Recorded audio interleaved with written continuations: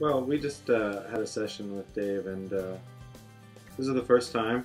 Um, you know, Anne-Marie and I, we'd come to a point where we just couldn't agree to disagree. We were kind of at an impasse of our relationship.